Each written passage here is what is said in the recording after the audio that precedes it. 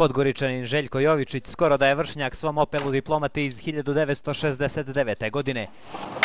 Da živi u Sloveniji, on bi ovaj čuveni automobil vozio u simboličnu godišnju registraciju od 50 eura.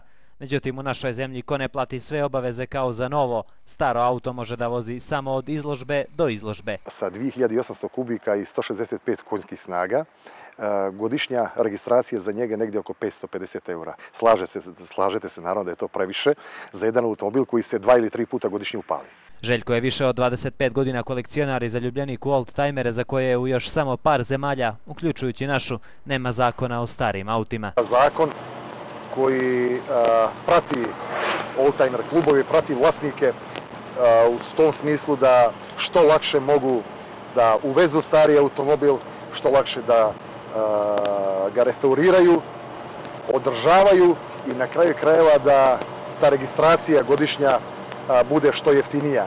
Pesnik Mimo koji je iz Albanije došao na izložbu u popularnom Spačeku kaže da je u njegovoj zemlji preko Ministarstva sporta skoro pri kraju izglasavanje zakona o old-timerima. Mi smo tražili da registracija bude besplatna i da se auta tretiraju kao starine, U Italiji i još nekim zemljama registracija je 60 eura godišnje, ali pritom možete i da se parkirate gdje god poželite.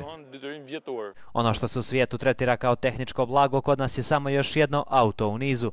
Ne bi tako trebalo da bude, jer pored toga što su jedinstveni, u savršenom su tehničkom stanju i ne predstavljaju opasnost na putu, tvrdi Željko. Svi vlasnici starih automobila su najbezbjedniji i najsavjesniji učesnici u sobraćaju. Reći vam zašto? Zato što prije svega čuvaju svoje automobile, čuvaju svoje automobile, čuvaju svoj i tuđi život. Na današnjoj izložbi koja je privukla veliku pažnju u centralnom mjestu pripalo je mikroautomobilu BMW i Zeti, čija je masovna proizvodnja krajem 60-ih spasila tada posrnulog automobilskog giganta.